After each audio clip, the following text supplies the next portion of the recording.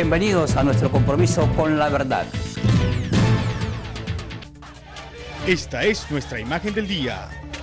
Así fue recibido el expresidente Uribe en Soacha.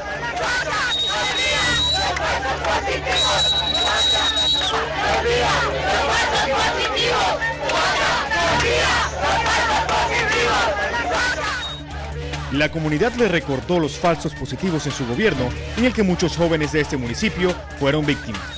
De este tema estaremos hablando en el transcurso de nuestra presente emisión.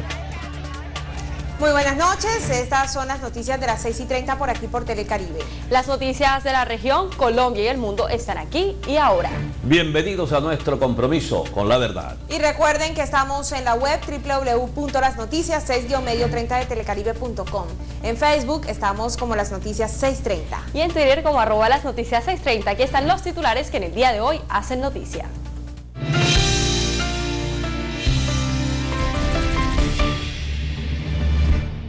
Muere hombre mientras hacía fila para ser atendido en oficinas de Colpensiones. Decenas de adultos mayores que realizan trámite de pensión se quejan por el mal servicio de esa entidad. Ejército y policía redoblan operaciones para dar con el paradero de ganadero secuestrado en Curumaní, Cesar. Policía anunció investigación por muerte de menor de 15 años por bala perdida en el barrio Rebolo. Familiares y allegados repudiaron la muerte. Erosión costera y mar de leva afectan a comerciantes de Puerto Colombia Atlántico.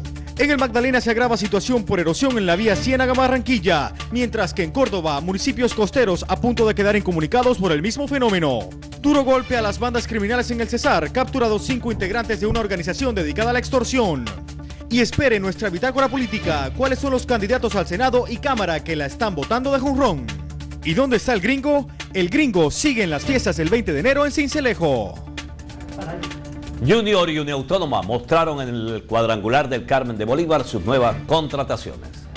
Y esperen entretenimiento los detalles de todo lo que sucedió en el marco de las fiestas del 20 de enero en Cincelejo y un resumen de la transmisión especial que Versión Libre y las noticias de Telecaribe hicieron el día de ayer.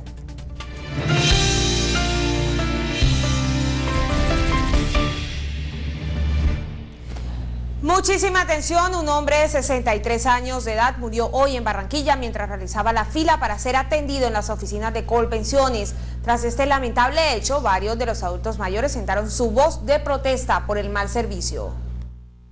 Interminable fila desde muy tempranas horas, por no decir la madrugada, incluso la noche anterior, tienen que hacer algunos adultos mayores, quienes en su deseo de obtener una pensión se enfrentan ante un indolente y casi incompetente, como ellos mismos lo denominan, sistema pensional. El mismo que cobró hoy la vida de José Antonio Mesa Cantillo de 33 años de edad, que desde tempranas horas esperaba un turno para presentar una apelación a la resolución de pensión que le había aprobado Colpensiones. Fue en esa fila donde un paro cardíaco acabó con su vida. Era que lo habían llamado de Bogotá a reclamar un retractivo que le había venido. Y en eso el hombre cayó. La fila llega hasta, hasta, hasta donde está el, el, donde era el teatro antes del cinema. Hasta reparten como 60 fichas y hasta donde llegue. Y de ahí el reto que sobra si ya pierden el día, pierden la, la mañana. Mesa Cantillo, quien había trabajado en la empresa colechera, no solo fue víctima del sistema pensional, sino también del sistema de salud. Según testigos, pasaron 20 minutos para que una ambulancia lo atendiera, pero ya era tarde. Vino a las 4 y media y a las 5 le dio lo que le dio y cuando ya quisieron venir a llevarlo a algún centro de hospital ya había fallecido ahí ante las quejas de varios adultos mayores por la mala atención de esa entidad. El Noticias quiso conocer el pronunciamiento de las directivas, pero esas solo se pronunciaron a través de un comunicado de prensa en el que lamentaron la muerte de José Mesa Cantillo. Y siguen operativos del ejército y la policía para lograr rescatar al ganadero secuestrado en el municipio de Curumaní el pasado fin de semana. Las autoridades despliegan operativos por aire y tierra que han permitido recuperar el vehículo de ganadero secuestrado y dos motocicletas de alto cilindraje que al parecer fueron utilizadas en el hecho. En este momento eh, tenemos un personal eh, al mando del señor comandante operativo en el municipio de eh, cercanos a donde se presentó el plagio.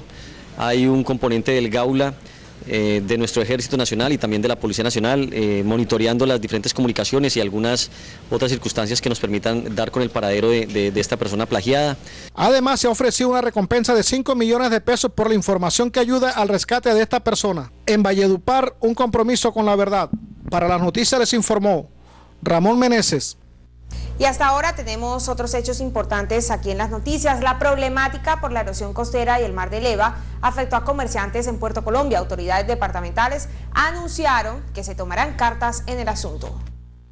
Tras las emergencias presentadas el fin de semana en los balnearios de las playas del Atlántico por la erosión costera, la CEREA en conjunto con la gobernación de nuestro departamento iniciarán una serie de obras para mitigar los daños y evitar más tragedias. El día de hoy hay una visita de, funcionarios de, la Dirección de Asuntos Marinos del Ministerio. Eh, nosotros estamos apoyando en el tema de, licenciamiento ambiental y de todo el tema que tiene que ver con, los componentes ambientales de, las obras que se van a realizar en cuanto a a, estabilización de, playas y estamos tratando con el alcalde de buscar también una solución al tema de, la madera que, arrastra el río Magdalena y que, y que de alguna u otra forma mantiene eh, bastante, digamos, sucia algunos sectores de las playas. Durante una reunión entre los alcaldes de los municipios del Atlántico, el gobernador y el director de la Corporación Autónoma Regional, Alberto Escolar, se conoció la agenda de temas prioritarios y las inversiones que se harán en el departamento. El presupuesto total de inversión eh, de este año ronda los 45 mil millones de pesos eh, y en temas de recursos hídricos estamos hablando de alrededor de 20 mil millones. hay unos que, digamos, recursos que están comprometidos hacia, hacia determinados temas, otros que están eh, disponibles para, ejecutar algunos proyectos que los municipios han venido presentando a la corporación y que ya agotaron todos los, controles de, habilidad técnica, de manera que vamos a, trabajar conjuntamente con la gobernación para priorizar cuáles son aquellas acciones que se requieren en este momento en los municipios que tengan puntos críticos. Tatiana Martínez Olivo, Las Noticias, un compromiso con la verdad.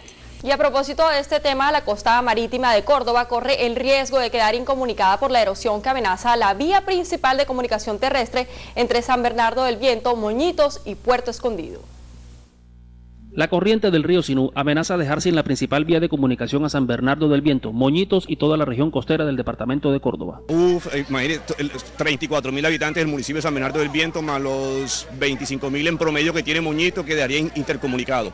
A menos de un kilómetro de San Bernardo del Viento, la carretera comenzó a ceder espacios por efecto de la erosión que hace 15 años la desapareció y obligó a abrir un nuevo paso. Nosotros como municipio hicimos un requerimiento ante Invías, ante la CBS, de la autoridad competente para este tema, pero hasta la fecha no hemos tenido una respuesta. Eh, es lastimoso porque la erosión sigue socavando esta importante vía que dejaría incomunicado tanto a San Bernardo del Viento como el municipio de Muñito. Sumado a estos riesgos, los hoteleros y comerciantes ven amenazadas sus actividades, pues por esta vía transitan turistas hacia las playas y los alimentos que abastecen varias plazas del Caribe. Para las noticias, Davis Palomino, un compromiso con la verdad.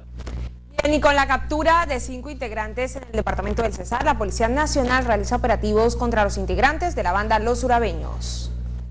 En diferentes operativos realizados en Valledupar, la Policía Nacional dio captura a cinco integrantes de la banda delincuencial de los urabeños que operan en el departamento del Cesar. En la primera acción aprendieron a Edimael Pérez Narváez, alias El Mono, y quien sería el cabecilla de esta organización en varios municipios del sur. Igualmente fueron detenidos Jorge Alberto Ortiz, quien era el encargado de atentar contra la integridad y la extorsión de las víctimas. Además, una mujer identificada como Ángela Tolosa, de 55 años, y quien se dedicaba a las labores de inteligencia. Asimismo, fueron capturados David Chaverra y José Yepes Carreño, quienes también pertenecían a este grupo ilegal. En Valledupar, un compromiso con la verdad. Para las noticias con esta información nosotros hacemos una pausa comercial aquí en las noticias. Así es, primera pausa y en breve retornamos con mucho más. Recuerden que nuestro compromiso siempre es con la verdad. Volvemos.